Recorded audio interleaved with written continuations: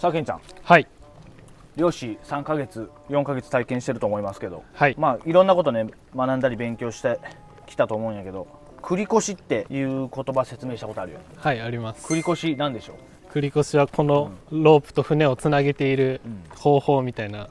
そうやな。ここまあ2本あるんですけれどもこの2本は、まあ、こっち側はこのように何て言うんでしょう、まあ、ステンレスの缶ですね。港によくあるようなところにくぐらせてほんでこっち側は船につながっとって反対にこっち側は海に行ってるのが分かると思うんですけどで船についてる方をこう引っ張ると船が寄ってくるんですけれどもこれは繰り越しっていうことは覚えてたね。はい覚えてます。ちょっと説明したことあるんやけど向こう側もこんな感じになってるっていうことは説明したな。はい。ほんでまあなんて言うんでしょうこう、まあ、説明せんでもわかるか。ねここ見たら。だ大体は想像はできます。それがねまあ視聴者さんもわかると思うんですけどちょっと今日はね反対側のここ行ってみましょえ、うん。海の底にあるんじゃないんうですか？そこにはないな。これ海底にこんなんがあると思ってる海底にこれが刺さってるんやと思ってました ああよかった。動画にしてよかったわ。え？ちょっとこれをタグっていきましょうそしたら。はい。海底にこんなのがあるわけじゃないんで。あ違うんですか？そうそうそう。それはおもろいな。でもそうやな。俺の説明やったら海底にこれがあると思うよな、はい。まあこんなんがあるんはあるんやけど海底ではない。あでもう一つね作業するんやけどちょっと重いやん。ーはい重いです。寄せるの。まあこれをタグっていった先に反対側のこれがあるんやけどこれをな滑車にしようと思う。滑車。このプラ滑車っていうね滑車があるんですけれども。4000円する割と高いよこれ。割と高いですね。ね。でななんて言うんでしょう。まあ詳しい方は分かると思うんですけどベアリングっていう機構もこれないんですよねベアリングって分からないなけんあわかります。お分かるんか。多分。ちっちゃいボールがいっぱいあって、なんで分かるんそれ？ハンドスピナーにはまってた時に。あのスピーダーで何やったあのこうこう持ってこうシャーって回すやつです。そんなんやったけどめっちゃ流行ったな。まあはい。世代やなハンドスピナー、あそれで覚えたそれでベアリング覚えましたそう。まあ漁師が使う漁具でも、まあ、いろんなところにこの世の中ベアリングってめっちゃ使われてるから。でベアリングの技術が日本ってすごいらしい。えそうなんですめちゃくちゃすごいらしい、え。ーうん海外にベアリングの技術をどんどんどんどんその製品をね出してるらしいよ、はい、ということででこのまあベアリングのないタイプのベアリングって高いんやけど、このベアリングのないのでもこの4000円するっていう。多分こんなんあんまあんまに売れんから数が少ないのって値段高くなりがちやん、まあ、プラカッシャこれ漁師よく使います、はい。っていうのも鉄じゃなくてプラスチックやから海につけとっても錆びたりしないからあそういう腐食しないからよくプラスチックが使われます。はい。ということでこの先ちょっと行ってみようか。楽しみやろ。はいちょっと気になりますね。ちょっと行ってみましょう。で、えーまあいろんなね船の係留の仕方あるんですけれどもこれは繰り越しによって。まあこの辺の漁師さんが繰り越しっていうだけで一般的になこれが何て言われてるかはちょっと分かんないんですけど。よいしょ。まあ、単純にねこう近寄せてきたらこう岸壁に寄ってくるので。でそこから僕みたいに乗ってで出港するっていう形ですね。でも船外機もおろし慣れた？何回かやったんでちょっとは慣れましたな。結構重いやろけ結構重いですね。ね。でちなみにこれフォーストの15馬力なんやけどはい、フォーストロークのエンジンと2ストロークのエンジンどっちが重いかって言ったことあるっえーないですけど多分フォーストローク、ねけなんでわかる？い単純に数字が多いから。いろいろついてついてる数が多いんじゃないですか。確かにフォーストのエンジンの方がはい。そのついてる期間が多くて重くなってるのはそれは合ってるんやけど大間違いなのがそれが2と4と数字で表してないってこと。2と4の数字はそれとまた違うってこと。あういうこピストンの動きの回数のこと前説明したやろあちょっと。はい。思い出しました、はい、思い出しましたね。でこのままな反対側のこいつをちょっと船の上上げてここかけといてでライフジャケットしといてこの名前は覚えた？あんま教えてないか、名前忘れました、うんサブタっていうのこれ、サブタ。うん、多分初めて聞きましたね。蓋はわかるやん。はい。差の意味わからんやろ。はい。俺もわからんねん。本当ね漁師が使う言葉よくわからんわ、うん俺も10年前漁師始めた頃ねめっちゃ考えさせられたね。っていうかいろいろなんていうの覚えるのに苦労したわ。いまだに差が何なのかよく分かってないです。いやー暑いね。あなかなか暑いですね。残暑が。残暑というか俺が言いたかったのは昨日台風来たやろ、はい。で今二十歳やと思うんやけど。まあ俺らに比べたらそんなになんていうの世間の言葉とか知らないと思うんやけど台風一過って聞いたことある？台風一過はなんか聞き覚えがあるぐらいですね。漢字わかる？台風に、一過ですが。うん、い一に一に家ですか？家じゃない。家じゃないわ。台風一過えーっってとな。過ぎるのかですか？過ぎるや。そうそうそう。過ぎた。台風が一通り過ぎましたっていうことなんだけど、はい。まあ、今日みたいな日のこと言うんやけど。昨日、まあ、九州沖をこう通り過ぎるルートやったけど、まあ、一応この辺もちょっと影響波とか風とかあったと思うんやけど、はい。その翌日のこと言います台風の、まあ、翌日のことを言うんやけれどもどういう日のことを指すか分かる。ちなみに今日みたいな日なんやけど、あ台風あら嵐のうん。後の静けさじゃなくて。静けさ、嵐の前のあ全然違いました。なんかそのうん、天気の差がものすごく激しくて、あいい線いってるね。台風はどういう現象？低気圧がいいですね。低気圧です。そう、はい。台風は低気圧のことなんやけど。まあ熱帯低気圧とも言うね。低気圧の反対は？高気圧。ということは低気圧が過ぎ去った後は？の高気圧。高気圧。高気圧は何？晴れですか？そう晴れ。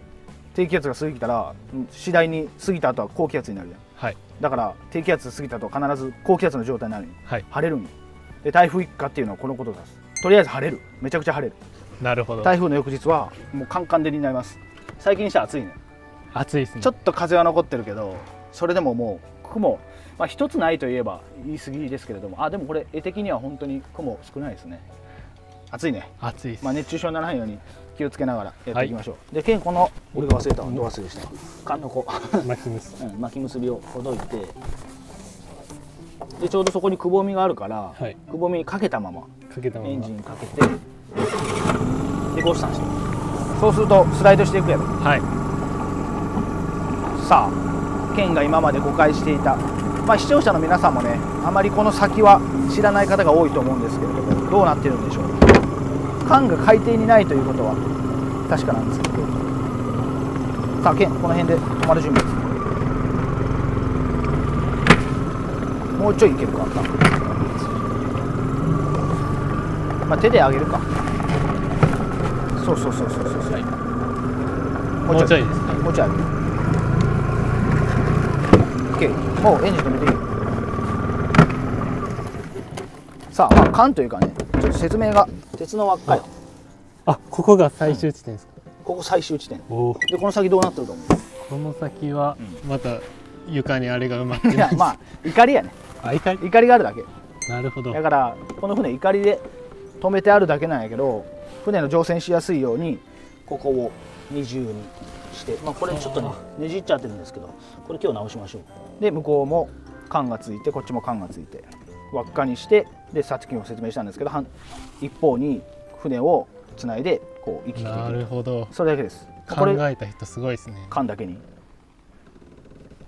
これをもうそのままです。ではこの滑車つけたいと思います。滑車することでこの、まあ、摩擦がなくなってもっと軽くなると、まあ、これね僕この滑車ねその時持ってなくてたまたま。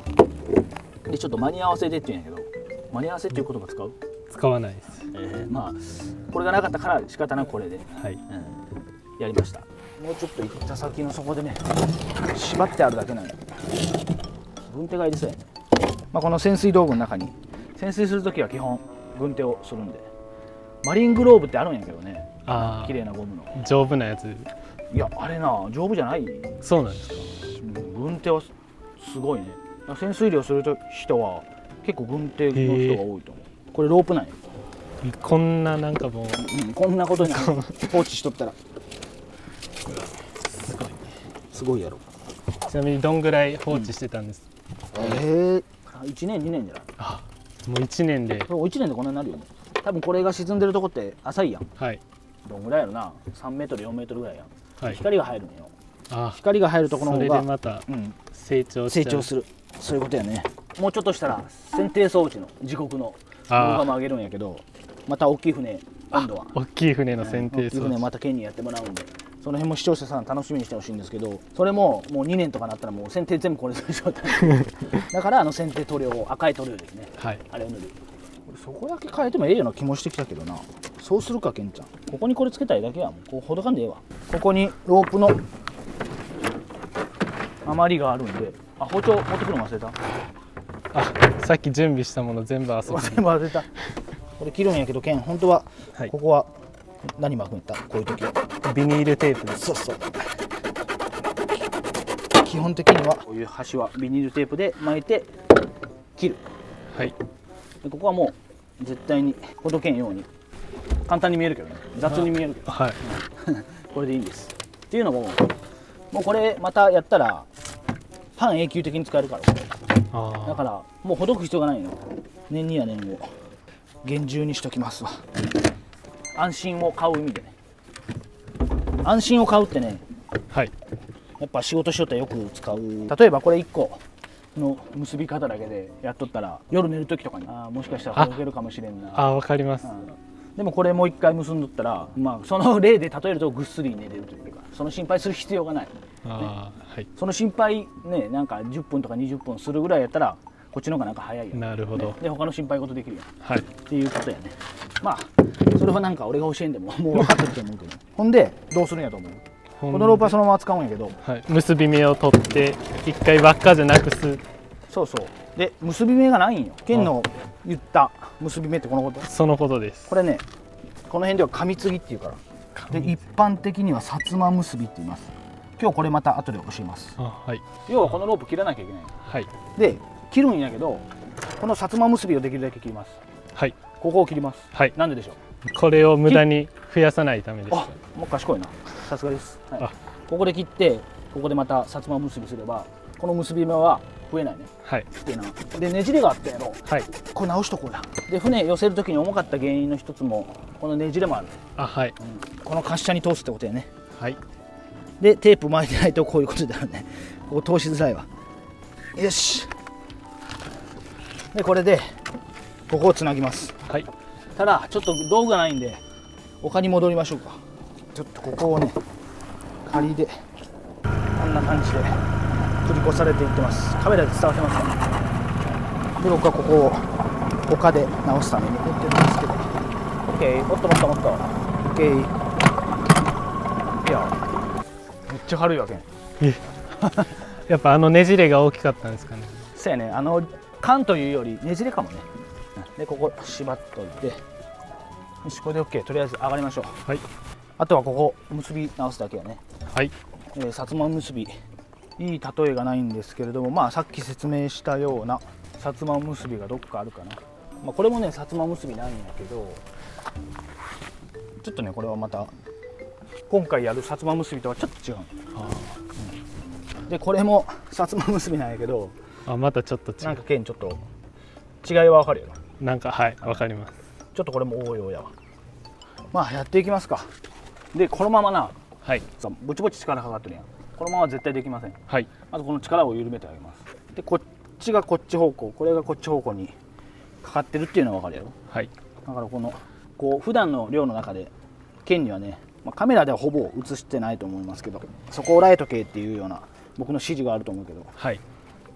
まあこういうことやね。ここ巻き結びにしてここを止めると。はい。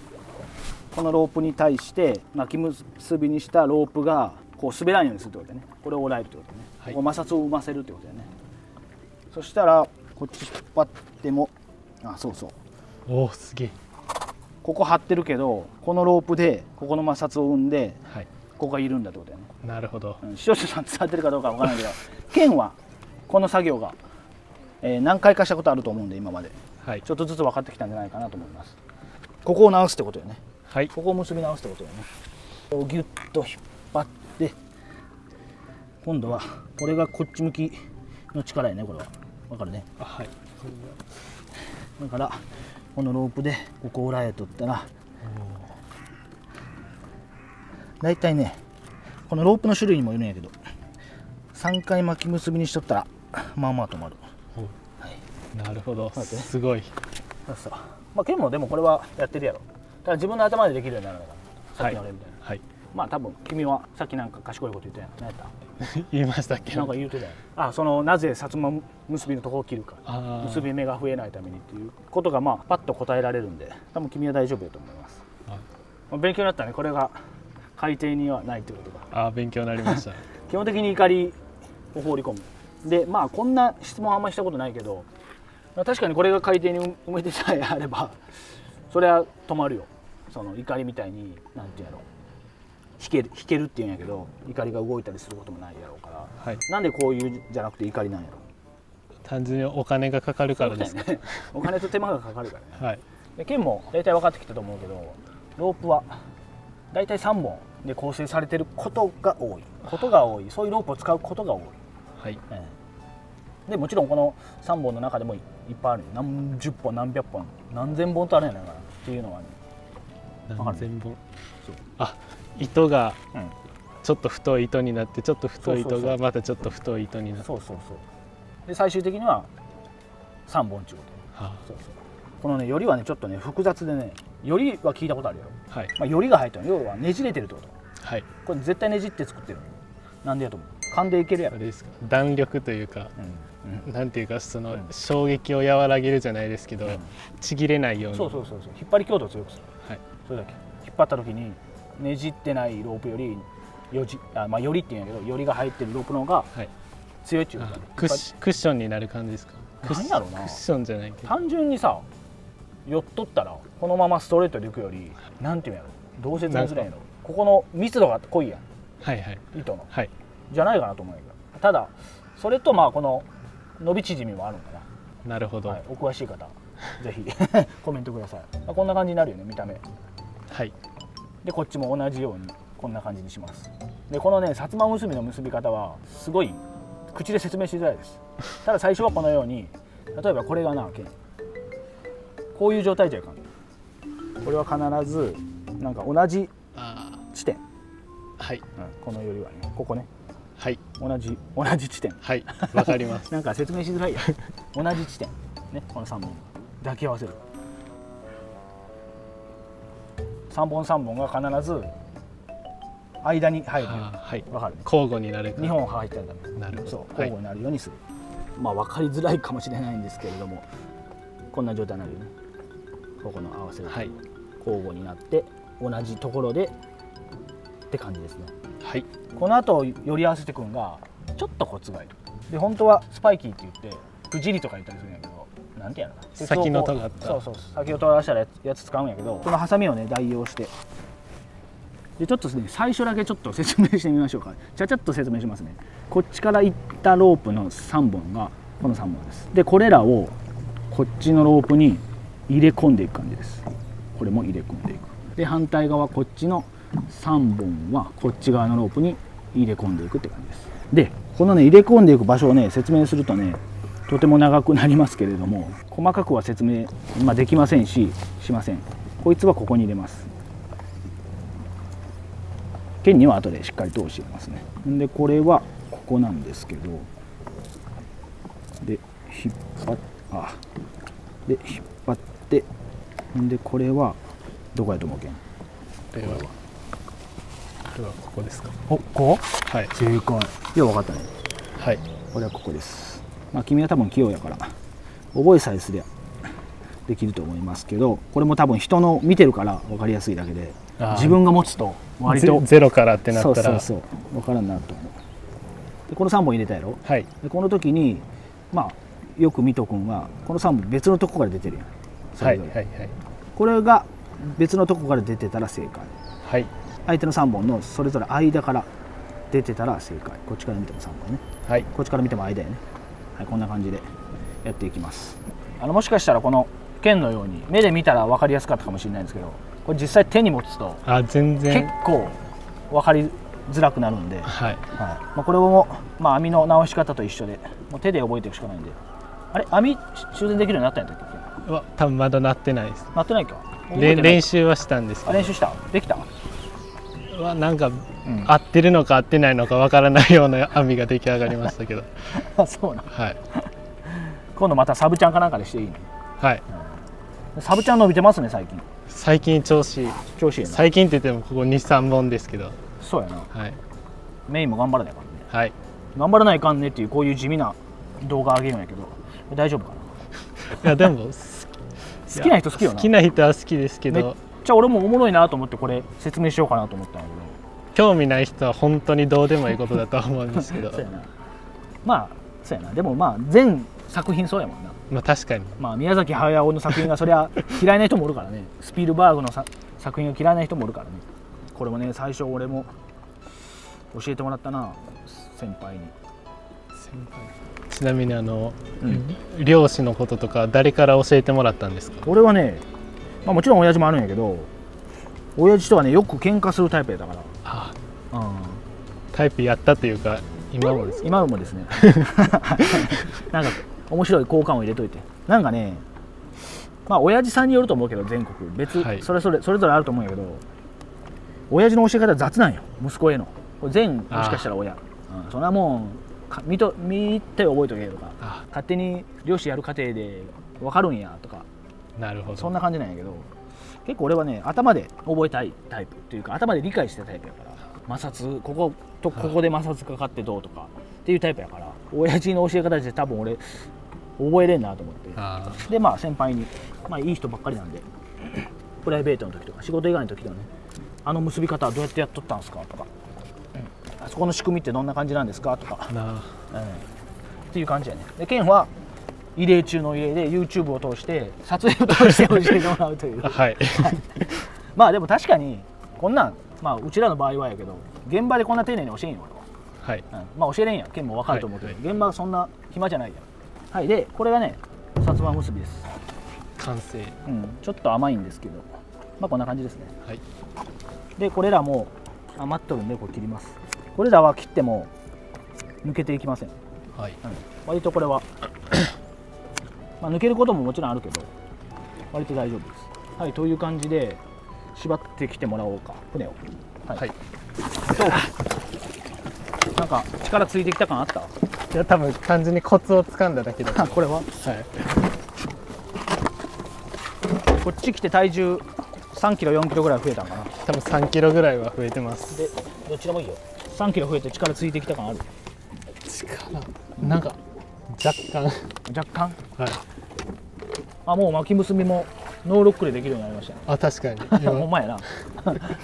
上等上等。OK でこっち側ですね。こっちを結ぶ。はい。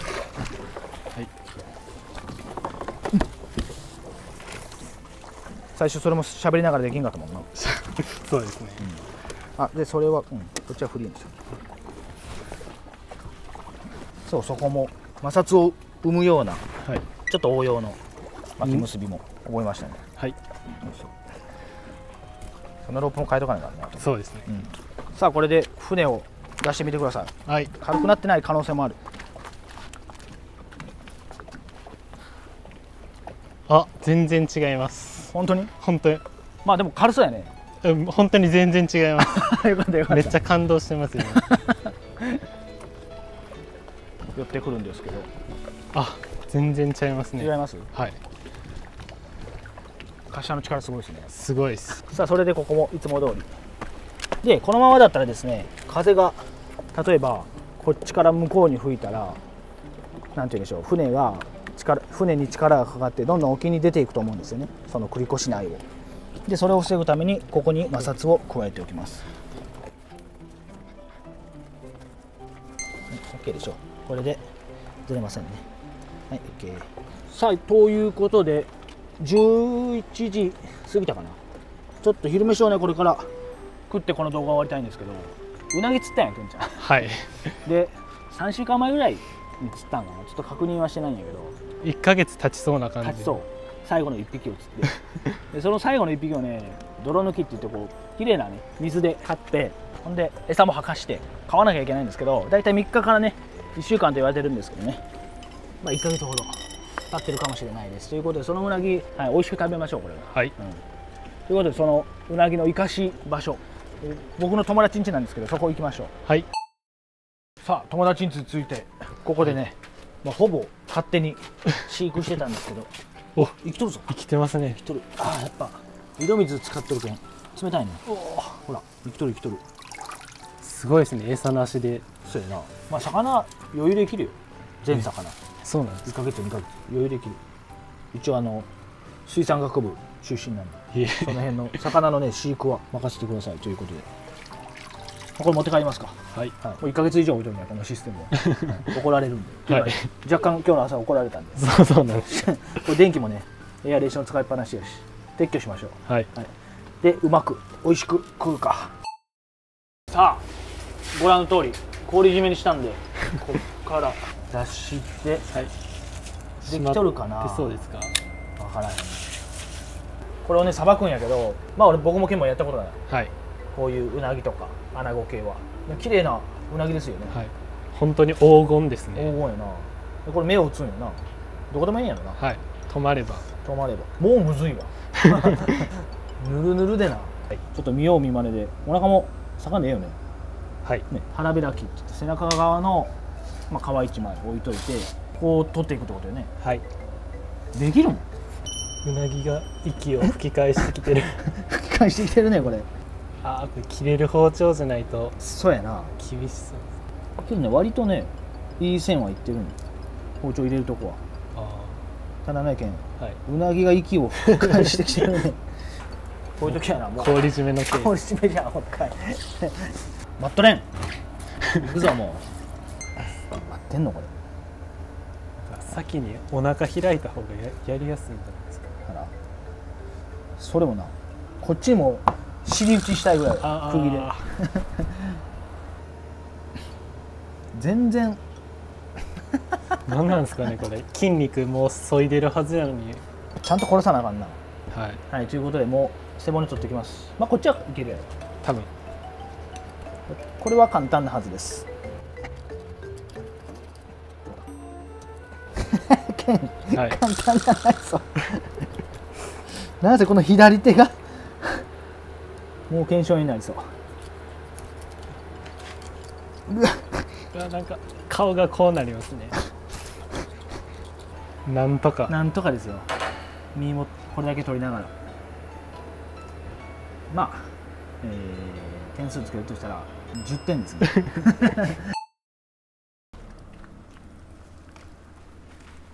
火起きた。起きました。あもう起きたん？はい。早いね。でケンが火起こしてる間はい。かば焼きのタレ作ってきたんやけどお、えー余ったうなぎの骨とかで身もだいぶ余ったけん 入れたんよ。はい。これ見た目超絶うまそうよ。これうなぎの煮付けじゃないです。か 油ギットギトやろ、はい。まいえこれうなぎだけで油ですか？そうよ。え映ってる？映ってるかな？油やばいやろ。油すごいですね。火が起きたということなんで。あ風がいい感じやね。はい。台風一過の風が。だからこれ炭火起こすの早かったんやろ。はい。はい。ということで米も今炊いてるんでお。早炊きででもあと40分ぐらいかかる。はい。でその間に遠赤外線ではい。この4切れできたんやったっけ？4切れです。4切れ。まあ皆さんに見ていただいたらいいとは思うんですけどおこの見た目で言うとなんか切り方上手やね。はい。さばき方。ちゃんとした身になってるもんねこれ。はい。最初なこのまま焼くみたいよ。おおいい感じやね。綺麗に起こしてくれたね火。はい。若干高火力すぎかもしれない。火力かもね。ちょっと炭多いかもね。もう4ついく？そうです。4切れあるんで。はい。皮目からでいいよね。はい。なんかうまい予感はしてるよ。それは美味しそうですよね、それはそりゃ美味しそうやな、まあ、軽く火通ったらこれにつけて。あ何回か。何回か。1回じゃ足りんと思うよ、はい。まあ、最低2回3回。まあ色とかその辺の具合見ながらはい。やっていこうか。はい。ええ昼飯やで。いいっすね。注意しなすぐ焦げます。そうやな。それ注意せないからな。あれする？浮かします。う それでお前でも2 3 0分持っとくんかっていう話やから。どんな感じですか？こんな感じうわもうこれひっくり返していいまあ繰り越し動画からのこんなことをししてますけど。何の繰り越しとは全く関係ない。無関係ですね、うん。繰り越し感動した、はい。感動というかまあは発見やな、驚きでした、うん。だってあの輪っかが海底にあると思ってたよね。はい。ちなみにね海底にあるとね漁港って結構な泥が堆積していってな年々浅くなっていく。えそうなんもう自然と。だからたまに、えーあれなんて言うやった？春節って言うんやけどすごい難しい感じ春節。春節工事とか言ってな初めて聞いた。泥を取る。へえそんな港の中の泥で取った泥をそのままなんか沖の方にやったらなんか法律上いろんな面倒くさい問題が出てくるからえ。なんかね結構予算がねつけられてねでそれは定期的にやらなきゃいけないね。こんな感じでちょっと一回つける？はい。い？いんじゃないですか？いいと思うよ、ね。はいいいと思いちょっますと焦げ目がついた感じでもっと砂糖入れてもよかったかな。ねとろドロッとした感じでもよかったかもね。でもなんか重ねて塗っていくごとにうなぎに溜まっていくんじゃないですかこれが。なるほど。適当に喋ってますけど。でしょうね、はい。大丈夫俺も適当なんで。でもケンちゃんはい。そっちに行ってるか分からんけどいい匂いがしてきてる。多分全部そっち行ってます。か風向き的に全部。ちょっとまだ高火力やねこれ。はい。多分うなぎの油であ火が出てるんじゃないですか。あのバーベキューでさ豚肉を入れた時あそう時に。トントロの。一時すごい感じか。はい。さあまた炭減らしてちょっと焦げ気味ではあるこれ注意せないかんね。はい。油がすごいんやね。はい。近所の人見られてない？大丈夫？なんか視線は感じるような。こっち側はまあ山なんですけどこっちはね割と家がちょいちょいあるんですよね、はい、住宅地、そうですね。あんまり映せないんですけど人ん家なんでまあそんな家がパラパラっとある中のこういう川のところでやってます、こんなこと。をでこれ食ってまた元気つけてまた今日の夜から漁の再開なんで、はい。まあ、そんなマナガツオ漁の様子はたまにサブチャンでね上げてるんでまた見てくださいという感じで米がでもあと30分ぐらいは熱っ。米も炊けましたで。はい。それごと持ってきて。そ それことよこれが一番いいやろ。ケンはビール飲まんからこれな。あありがとうございます。ヤクルト1000これあれよ貴重なんよ結構、はい。うん。都会ではなくなってるらしいわ。えそうなんです、流行りなんですか？いやめっちゃ入ってる。知らんの？知らないです。ええ感じですね。なあええ感じやよしこれで、まあ、米をそって。でこれ3合炊いたんよ。はい。21ケンちゃん。僕は0.55ぐらいです。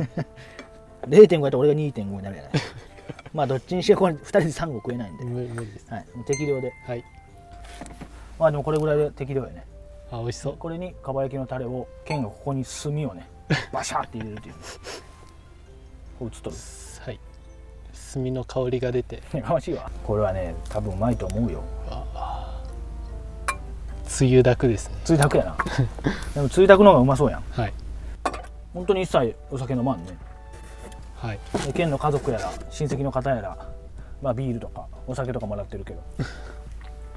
ここで言うとこありがとうございます。何万人の前で よし食ってみるか。はい。でここで釣った。ね。この川で釣ったから。せっかくこの景色を見ながらね食ってみるわ。はい。皆さんあんま食べたことないと思うんですよ。皆さんあんま食べたことないと思うんですよ。でうまいのはもちろん皮がね硬いんよ。へえ嫌な硬さじゃなくて食べ応えがあるって感じ。なるほど。油すごいね、へえ。天然うなぎよ。皆さん食べれてるのは、ね、基本的に養殖のうなぎなんで。天然うなぎ釣ってで1ヶ月弱生かして今食べてるんですけどもはやそれは養殖うなぎです。で皆さんも僕とこうやって同じように釣れたところで食べてみては。うん。あのかば焼き色ですね。皮も。めっちゃうまいぞ。食べてみ。はい。どうぞ。はい。ちゃんと皮見るん なんか逆効果な気がするんですけど。どうですか、いや油すごいですね、養殖よりどうなんやろね。油の油の量は。油の量は多いけど身が油っぽくないってなんか伝えづらいですけなるどほどなるほど。身が身自体はなんか身はしっかりしてますよしねっかりしとるやろ。天然よりも。食べ応えは。あ養殖よりもしっかりしてます、なんか弾力あるやん。あ弾力あります。でた皮も食べ応えがある。しっかりした味みたいなそんな感じ、うん、難しいね表現が、難しいです、うでもうん。僕は養殖とは全然別物なような気がします、違うね。全然違うね。なんか魚が違うって言ってもケンあそこになんか見て血のがおるお上がってきた。上がってきた。釣る場所にはねここで最初ポンポンポンと45匹釣れたからね釣る場所には適してますけど、まあ食べる場所には適してないかもしれない。ですね、はい、多分そうです。でここでなんて言うんでしょう。制御に育ってというか、まあ、制御として育ったうなぎは日本うなぎはここからあの水門を出て瀬戸内海を出て視聴者さんから見たらこういう方向ですかね。でマリアナ諸島といってグアムがあるところです。グアムがあるようなところまで行って産卵してで稚魚はそこからまたね日本まで戻ってくるみたいなんですよ。こう。でこういうまたこういうところに登ってくるんですよまた。グアムから。でここでまた産んで。でまた産卵しに行ってというね。こういうことを行ってるわけですよ。すごいね。繰り越しですよケンちゃん。まさに。すごいですね。まさに。まさにですよ。ここでつながるんですね。そうそう。そういう動画や。あうまいやろ。あめっちゃ美味しいですね。ね、でこれついだくやからチャチャチャチャチャっと食えるやろ、はい。はい、あと2合あるんで。これは美味しい。いやいやいや2合あるんで言うてね。これは美味しいじゃなくて